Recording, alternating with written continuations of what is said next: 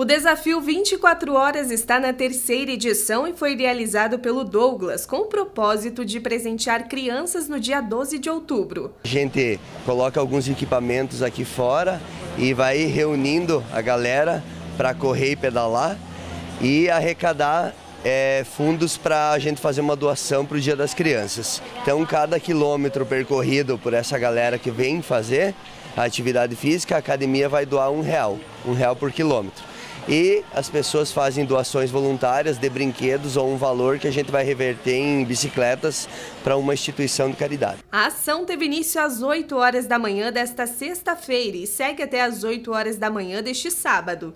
Denise e a filha Milena estão presentes desde as 3 horas da tarde e contam o que acharam da ação. Tô achando incrível. Na verdade, o nosso esporte, meu e da minha filha que está aqui do meu lado, é voleibol.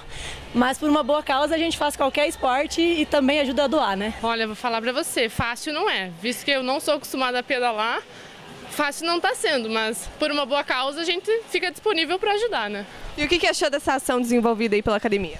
A ação é muito, muito importante, assim, muito legal, né? Porque além de incentivar a galera a praticar o esporte, né? É, o motivo pelo qual ele está fazendo, que é doar e ajudar as crianças e tal, é um motivo sensacional, né? Então você une duas coisas e é perfeito, né? No ano passado, o valor arrecadado por meio da iniciativa foi destinado ao projeto Jojoca.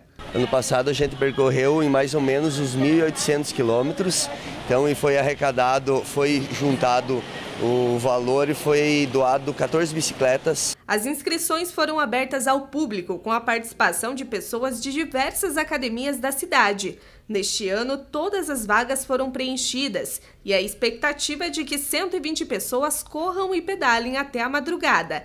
Aqueles que não puderam participar neste ano terão a oportunidade em 2024. A gente sempre está pensando em expandir para os próximos anos, então Ainda bem que esse ano deu certo novamente. Vamos pensar futuramente em colocar mais equipamentos.